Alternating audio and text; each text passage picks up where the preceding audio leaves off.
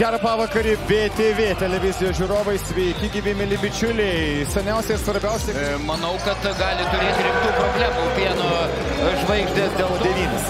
Taip, tu gerai pastebėjai, rytas geriausiai lygoje vagia e, kamolius ir po varžovų. Utenos Juventus komandoje 2 plus 1 su Frankės pražanga. Gytis Racevičius. Rytas geriau kovoja dėl jo. Čia Lekūnas O! gavo žaidžias. Bando žaisti agresyviai. Pikempopas su Lekūnu, pražangos nebuvo. Racevičius labai aštrus kampas. Reikia bėgti dar trise prieš vieną. Wow. Karolis Gedrinas išmaudytas. Jei ne.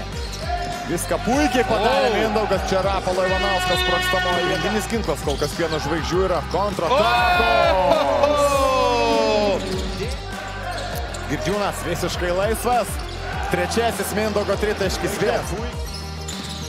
Ir to darbo rezultatas. Girdžiūnas, pražymbenas ir... Šikšnius gerai dalinasi kamoliu. Ronkė, O! kosminis dvitaškis. Oi, Čia irgi yra paradoksas, na nepamirškime, kad Ulecko nėra ir iš toli Manika pataiko. Ir Kristiano Kitsi. Čia jau Tomas žais vienas. Kokia graži verpstė, o O! Lekūno solo. Dešinė ranka nepataikė beveik iš po krepšio ir žaibiškas greitasis polimas, na galima šiek tiek. Keičiasi dabar ginamaisiais šeimininkai. Oi, O, nepastovėjo. arčiau, arčiau turėjo prieiti Lekūnas. Centimetrai. Ir, Kitis. ir Želionis turėjo prieiti. Malų pranašumą. Dabar turi rytas antroje rungtynių O! dalyje. Po girdžiūno dar vieną tritaškį. Nepralaimėjo. Petrilevičius. Kaip apgavo Echo, Gynį, va čia klausim, Mirkovičius. Laisvas. Intriga.